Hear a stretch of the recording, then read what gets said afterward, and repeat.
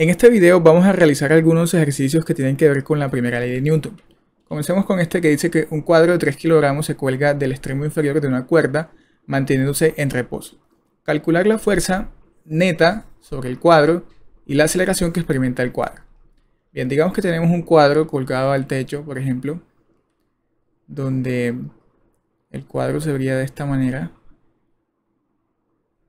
Ese cuadro permanece en reposo nos damos cuenta de que este dibujito representa la situación que nos están planteando.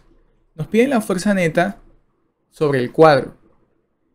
¿Cuál será la fuerza neta sobre este cuadro si este cuadro se mantiene en reposo? Pues para eso vamos a recordar precisamente lo que dice la primera ley de Newton, la cual dice básicamente que si tenemos un cuerpo, bien sea en reposo, o que tenga un movimiento rectilíneo uniforme, podemos observar que en cualquiera de estos dos casos tenemos velocidad constante. Si la velocidad es constante, entonces nos está diciendo la ley de Newton que la fuerza neta sobre ese cuerpo es igual a cero. Si la fuerza neta es igual a cero, entonces la aceleración que experimenta ese cuerpo también es igual a cero.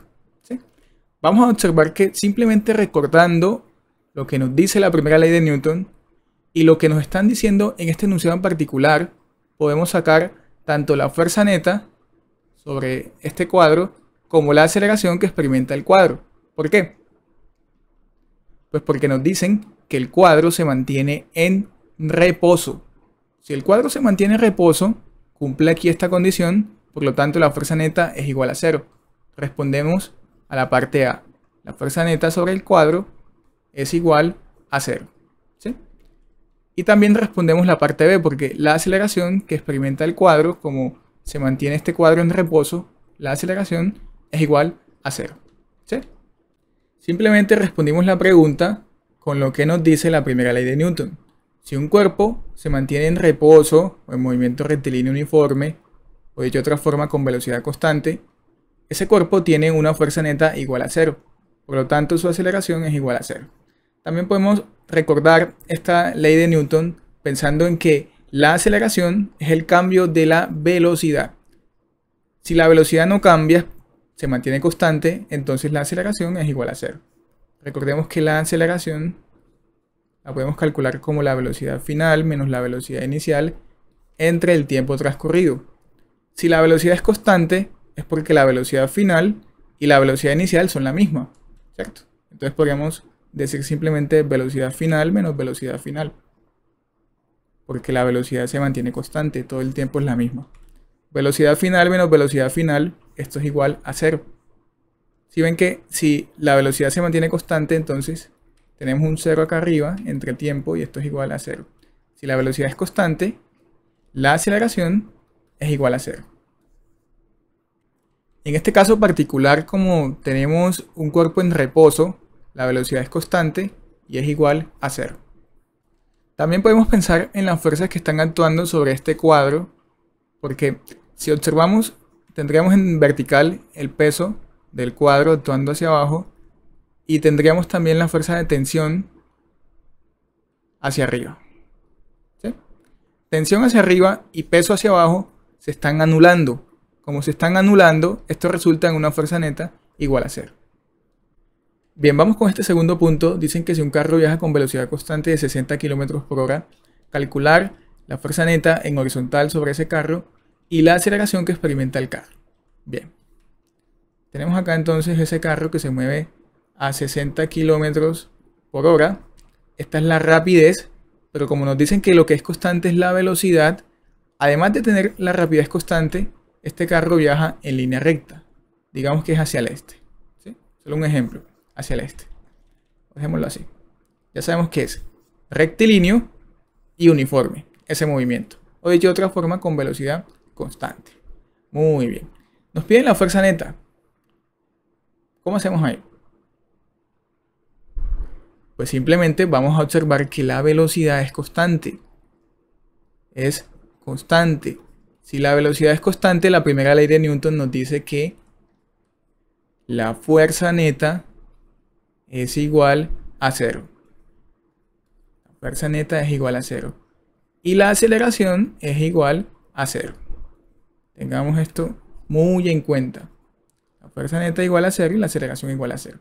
Estas flechitas de acá arriba simplemente nos están indicando que estamos hablando de vectores, cantidades que tienen además de una magnitud un sentido y una dirección, como lo observamos acá.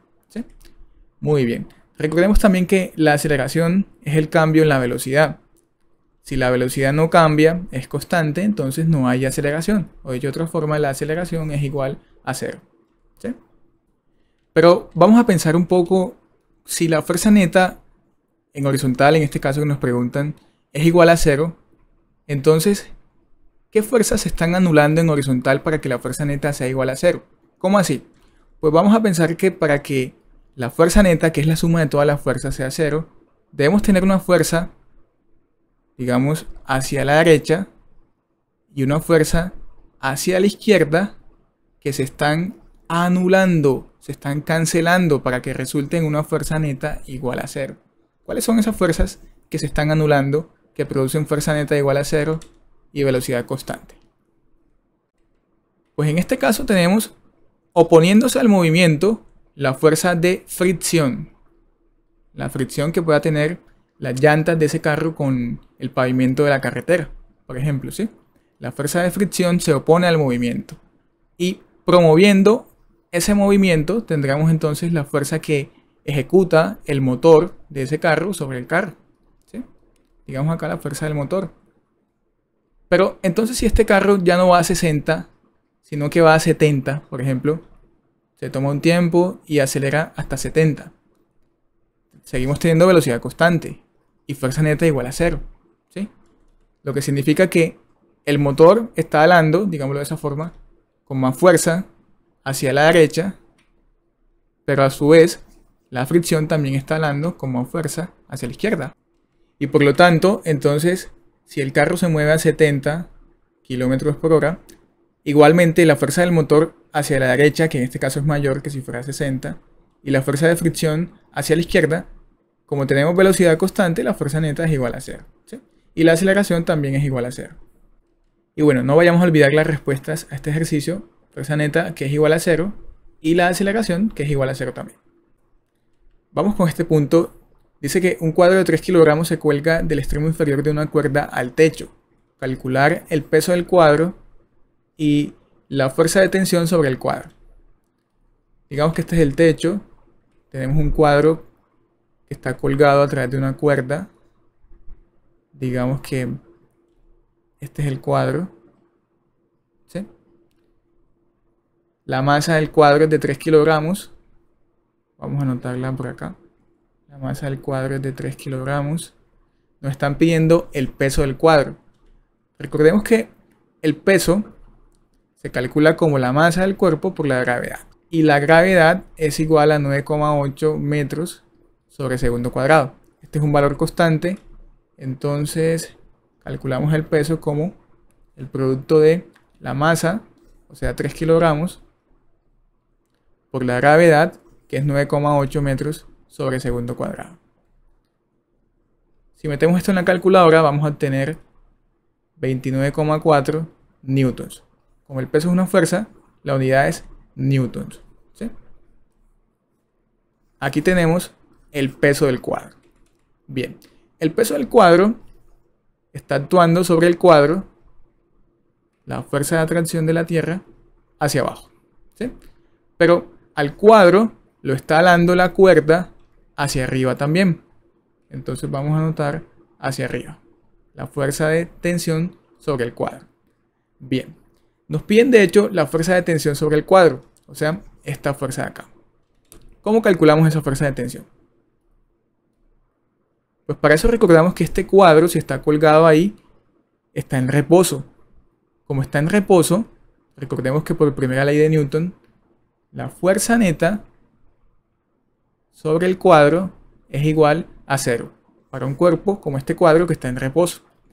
La fuerza neta es la suma de todas las fuerzas. Si tomamos positivo hacia arriba y negativo hacia abajo, nos queda entonces que la tensión como apunta hacia arriba es positiva y el peso como apunta hacia abajo es negativo. La suma de todas las fuerzas es igual a la fuerza neta.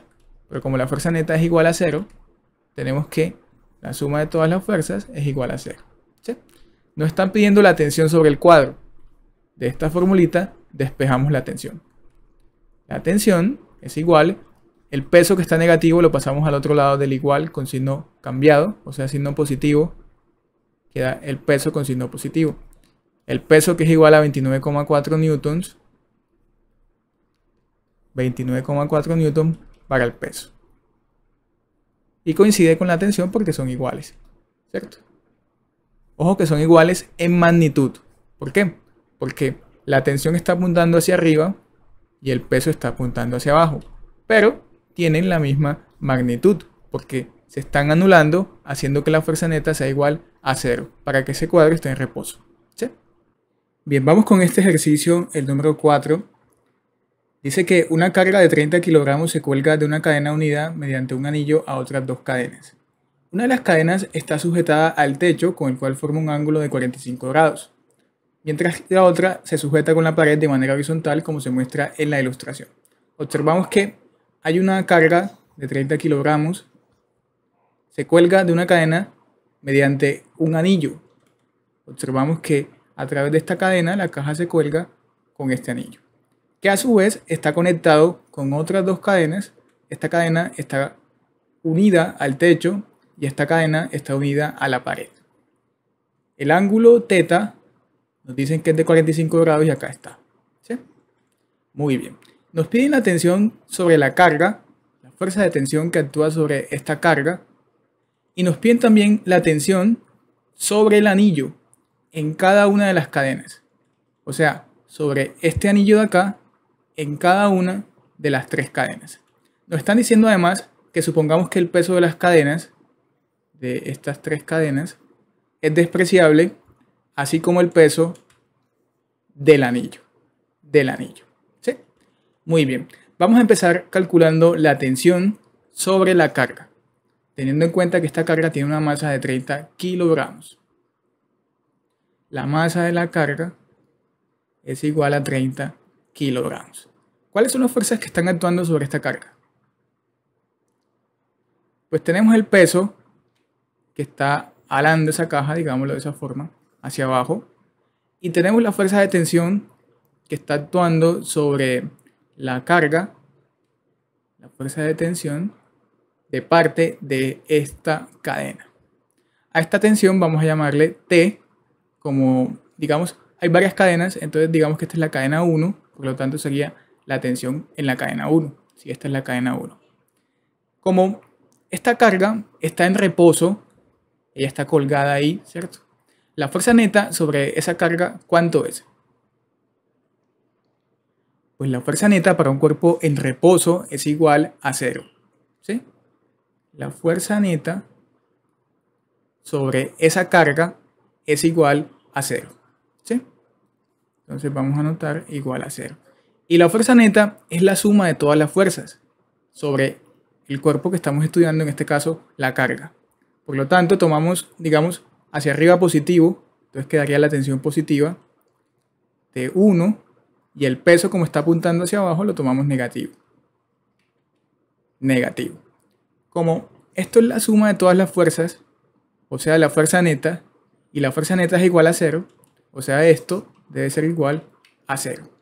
Nos están pidiendo la tensión sobre la carga, o sea, T1. T1, que está actuando sobre esa carga. Vamos simplemente a despejar de esta fórmula T1.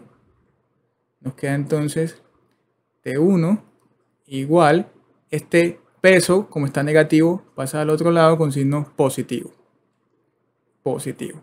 Aquí tenemos la forma de calcular la tensión sobre la carga. Y el peso de esta carga, ¿cómo lo vamos a calcular?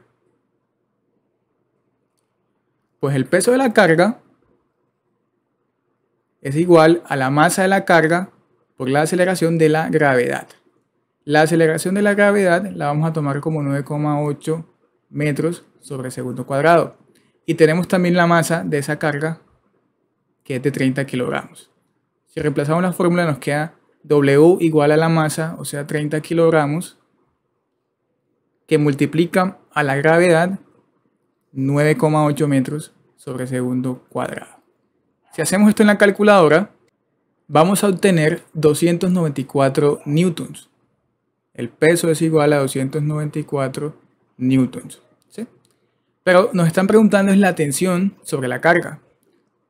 La tensión es igual al peso. Entonces, la tensión sobre la carga, tensión 1, es igual a 294 newtons. 294 newtons. Ahí tenemos la tensión que está actuando sobre esa carga. Vamos entonces con la parte B. Nos pide la tensión sobre el anillo en cada una de las cadenas. O sea, la tensión que está actuando sobre este anillo de parte de esta cadena, de parte de esta otra cadena y de parte de esta cadena. Observemos que el anillo está en reposo. Si el anillo está en reposo, al igual que la carga, la fuerza neta es igual a cero. La fuerza neta sobre ese anillo. Vamos a decir entonces que la fuerza neta es igual a cero.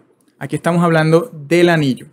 Pero a diferencia de la carga que tenemos acá, donde las fuerzas actúan solamente en vertical, como estas dos, en el anillo tenemos unas fuerzas actuando en horizontal, como la que tiene de parte de esta cadena, una fuerza en vertical, como la de esta cadena que la empuja hacia abajo, y una fuerza que tiene componente horizontal y vertical, como esta que está acá como en diagonal, ¿cierto? Formando este ángulo de 45 grados. Por lo tanto, esta fuerza neta debemos trabajarla tanto en horizontal como en vertical. Pero antes de eso vamos entonces a dibujar las fuerzas que están actuando sobre el anillo. Pensemos en el anillo como un punto, lo reducimos a un punto, nos damos cuenta que de parte de esta cadena de acá abajo, lo está alando hacia abajo. Y lo está alando hacia abajo, lo está alando hacia abajo con una fuerza de tensión que llamamos tensión 1. Observemos algo. La tensión 1 sobre la caja está actuando alándolo hacia arriba, pero sobre el anillo está actuando alándolo hacia abajo.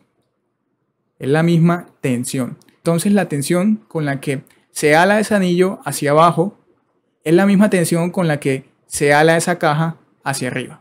¿sí? Aquí tenemos entonces la tensión 1 alando el anillo hacia abajo. Ya vemos a esta tensión que actúa sobre el anillo, la tensión 2. Esta cadena está alando al anillo hacia la izquierda. Esa sería la tensión 2.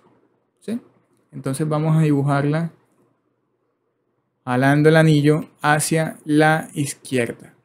Tenemos acá la tensión 2. Y tenemos una tensión que vamos a llamar la tensión 3. Esta cadena está alando al anillo hacia ella, en esta dirección. Entonces vamos a dibujarla esa sería la tensión 3. Aquí tenemos la tensión 3. Aquí tenemos el diagrama de cuerpo libre para este anillo. Y la suma de estas tres tensiones, de todas las fuerzas, debe ser igual a 0. Para sumar estas fuerzas, debemos tener en cuenta que hay unas fuerzas actuando en horizontal, como esta, esta que está actuando en vertical, y esta que tiene componente horizontal y vertical. Por lo tanto, vamos a sumar tanto en horizontal, que le llamamos X, como en vertical, que le llamamos Y. En horizontal tenemos la tensión 2, que está actuando hacia la izquierda, y también tenemos una componente de la tensión 3. Si observamos la tensión 3, la podemos dividir en dos componentes.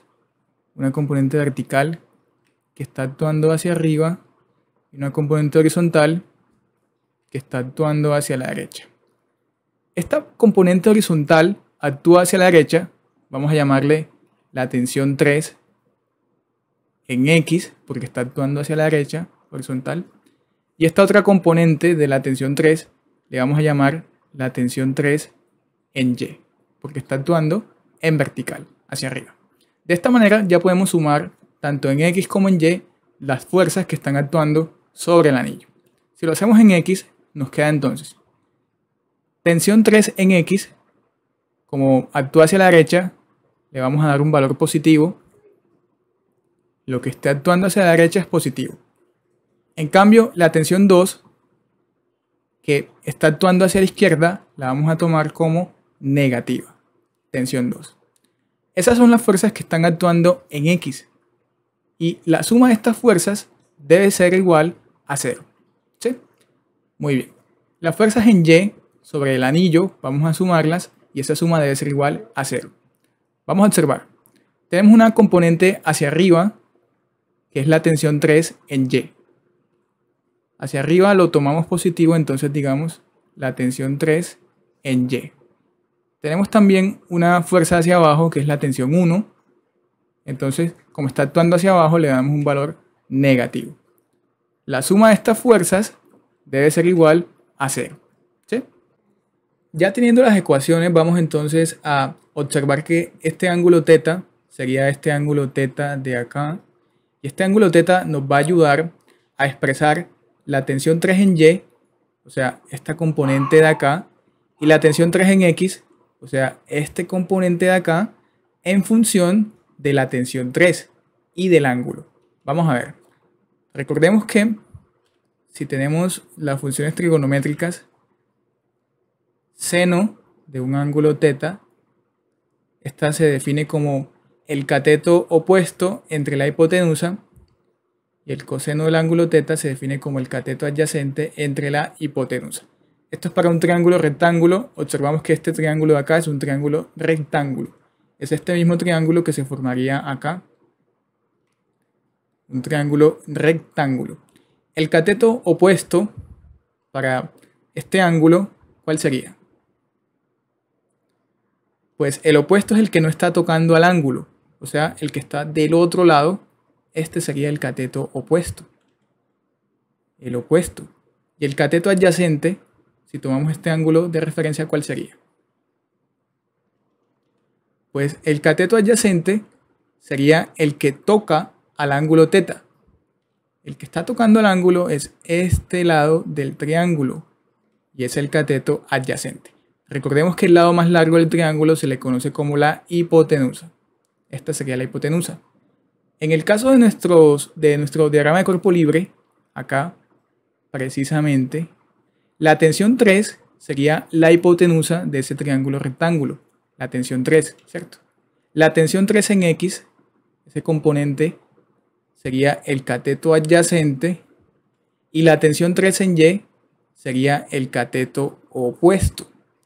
Como nos interesa la tensión 3 en X y la tensión 3 en Y, en el caso del triángulo sería el cateto adyacente, ¿cierto? Tensión 3 en X, cateto adyacente, y el cateto opuesto, tensión 3 en Y, el cateto opuesto. Vamos a despejar entonces. El opuesto sería mandando la hipotenusa a multiplicar por el seno de teta. H seno de teta es igual al cateto opuesto. Y la adyacente lo despejamos mandando acá h a multiplicar, pero al coseno de teta. h coseno de teta igual al cateto adyacente. De hecho, en esta formulita es el cateto opuesto, lo que estamos despejando, ¿cierto? El cateto opuesto. Muy bien. Vamos a ir limpiando por acá. Nos queda que H sería la tensión 3 cambiamos h por tensión 3. El seno de teta no cambia. Seno de teta sería igual al cateto opuesto. El cateto opuesto es la tensión 3 en Y. La tensión 3 en Y. Y luego H, pero H es la tensión 3. Nuevamente, tensión 3. Esta vez por el coseno de teta. El coseno de teta es igual al cateto adyacente. El cateto adyacente es la tensión 3 en X. ¿Sí? Tensión 3 en X. Vamos a cambiar entonces en la ecuación donde dice tensión 3 en X por tensión 3 coseno de teta. Tensión 3 coseno de teta. Y donde dice tensión 3 en Y, lo vamos a cambiar por tensión 3 por el seno de teta. Tensión 3 en Y lo cambiamos por tensión 3 por el seno de teta. Quitemos esa X y esa Y, ya sabemos que una es en horizontal y otra es en vertical.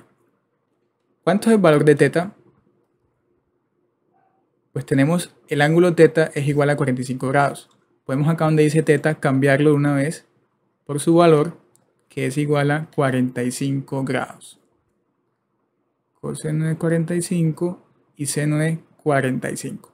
De esta manera tenemos igualmente dos ecuaciones, pero una incógnita, tensión 3, la cambiamos por 2, porque teníamos inicialmente tensión 3 en X y tensión 3 en Y. Estas dos variables las cambiamos por una sola, que es la tensión 3. De esta manera podemos resolver el sistema de dos ecuaciones con dos incógnitas. ¿Por qué dos incógnitas tenemos en estas dos ecuaciones? Pues porque la tensión 1 ya la habíamos encontrado, la tensión 1 era igual al peso de la carga y tenía un valor de 294 newtons. Recordemos que la tensión 1 es igual a 294 newtons. Vamos a quitar acá donde dice tensión 1 por 294. De esta manera podemos despejar de esta ecuación la tensión 3, que es una incógnita.